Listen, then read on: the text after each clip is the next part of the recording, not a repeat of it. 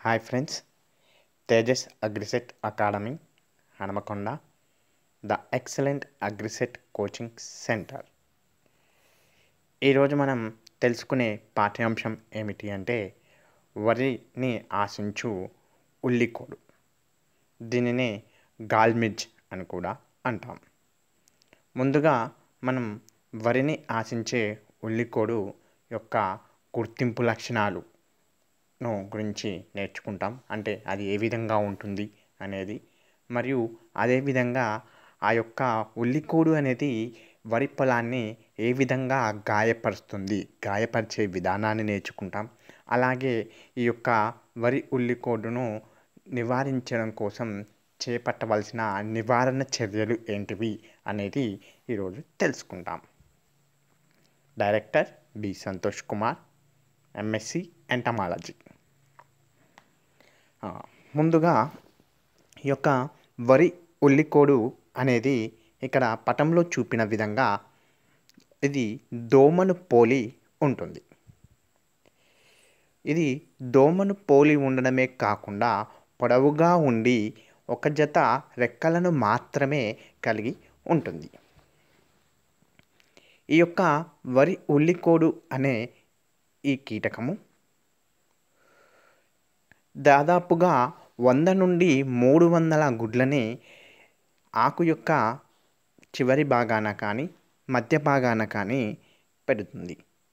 ఈ యొక్క గుడ్డు అనేది ఎరుపు లేత ఎరుపు రంగులో ఉండి పొడవుగా ఇక్కడ పటంలో చూపిన విధంగా కనిపిస్తూ ఉంటుంది. నెక్స్ట్ ఈ గుడ్డు నుండి బయటకు వచ్చిన లార్వాలు ఇక్కడ పటంలో చూపిన విధంగా ఎరుపు రంగులో కనిపిస్తూ ఉంటాయి. అంటే మనం ఈ పొలంలో వరి పొలంలలో గుడ్ల సముదాయము లేత ఎరుపు రంగులో ఉండి కనిపిస్తే ఈ యొక్క వరి పొలాలలో ఏ పురుగు ఆశించింది అని మనం గమనించవచ్చు అని అంటే ఈ యొక్క గాల్మిర్చ్ లేదా వరి ఉల్లికోడు అనేది ఆశించింది అని మనము ఒకటి ముఖ్యంగా గమనించవలసిన విషయం. నెక్స్ట్ ఈ వరి ఉల్లికోడులో మగ వరి ఉల్లికోడు మరియు ఆడ వరి ఉల్లికోడు అనేది మనం చూస్తూ ఉంటాం. మరి ఈ మగ ఉల్లికోడు పురుగును మరియు ఆడ ఉల్లికోడు ఉల్లికోడు పురుగును ఏ విధంగా గుర్తించాలి అని అంటే ఇది ఇక్కడ పటంలో చూపిన విధంగా ఆడ ఉల్లికోడు అనేది లేత ఎరుపు రంగులో ఉంటుంది.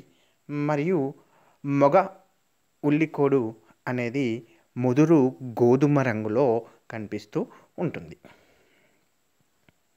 దీని యొక్క జీవిత చరిత్ర చూసుకుంటే మొదటగా ఈ యొక్క ఉల్లికోడు అనేది మేటింగ్ అయినాక టూ త్రీ డేస్ తర్వాత ఇదేం చేస్తుంది అంటే గుడ్లను పెడుతుంది.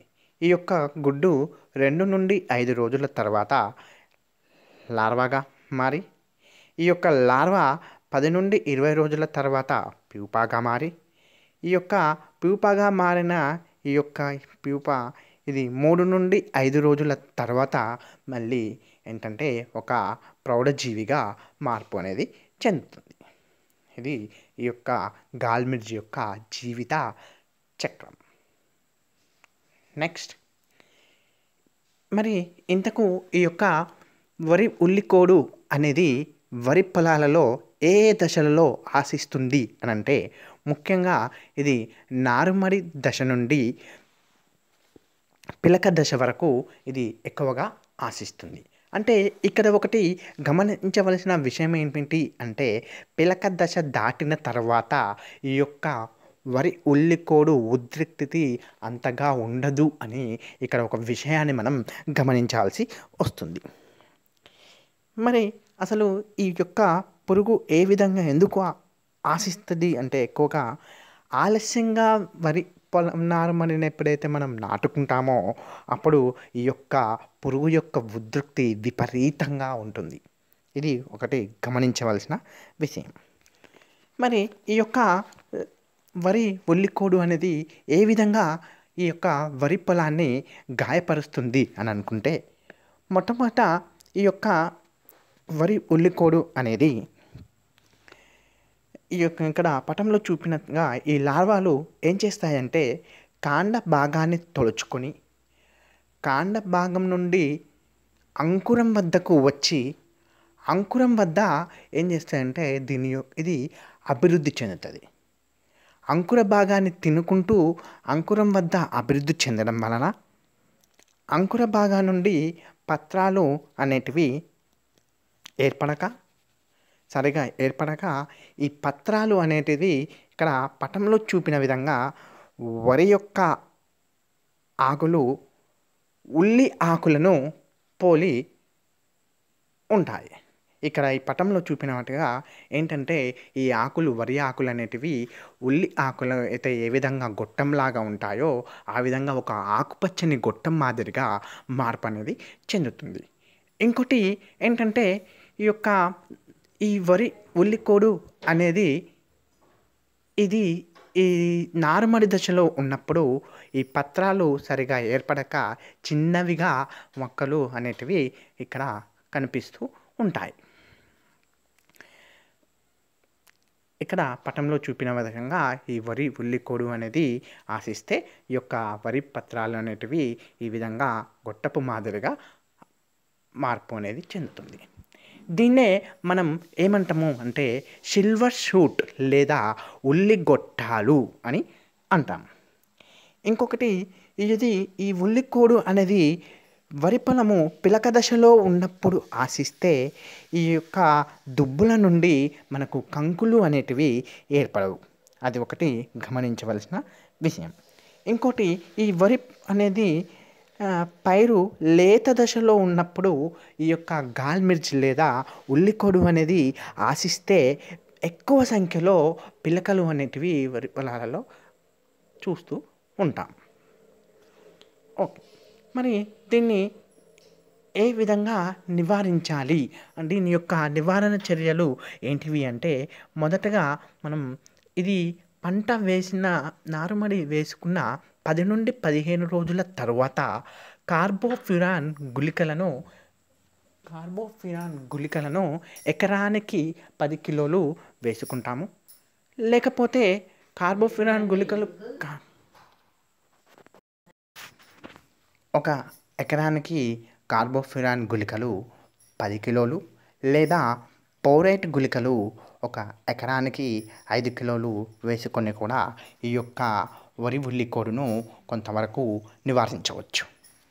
అంతేకాకుండా ఈ నారుమడిని వరి నారుమడిని క్లోరిఫైరిఫాస్లో ముంచి ద్రావణంలో ముంచి నాటుకోవడం వల్ల కూడా ఈ యొక్క వరి వరి ఉల్లికోడును కొంతవరకు నివారించవచ్చు. క్లోరిఫైరిఫాస్ ట్వంటీ ఈసీని టూ పాయింట్ ఫైవ్ మిల్లీ లీటర్ల ద్రావణాన్ని ఒక లీటర్ నీటిలో కలిపి ఆ కలిపిన ద్రావణాన్ని పంట పొలాల మీద స్ప్రే చేసుకోవడం వల్ల కూడా ఈ యొక్క వరి ఉల్లికోడును నివారించవచ్చు. అంతేకాకుండా ఫ్లాటిగాస్టర్ అనే లార్వల్ పారాసైట్ని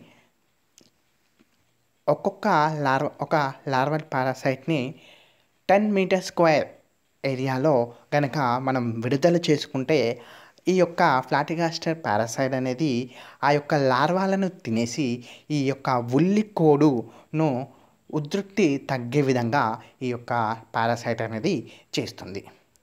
ఇంకొక విషయం గమనించవలసింది వరి పొలాలలో ఈ యొక్క వరి ఉల్లికోడు ఉధృప్తి ఎంతవరకు ఉంది? మరి నివారణ చర్యలు చేపట్టాలా లేదా అనేది ఏ విధంగా గమనించాలంటే ఒక చదరపు మీటర్కి ఒక ఉల్లి కోడు సోకిన పిలక లేదా ఆ యొక్క చదరపు మీటర్కి ఉల్లి గొట్టాలు ఒక ఐదు శాతం కనుక మనము గమనించవల్ గమనిస్తే అప్పుడు మనం వెంటనే ఈ యొక్క క్లోరిఫైరిఫాస్ లేదా ఫోరేట్ గుళికలు మరియు కార్బోఫినాన్ గుళికలను మనము వేసుకొని నివారించవచ్చు. వీడియో నచ్చినట్లయితే లైక్ చేయండి షేర్ చేయండి సబ్స్క్రైబ్ చేయండి.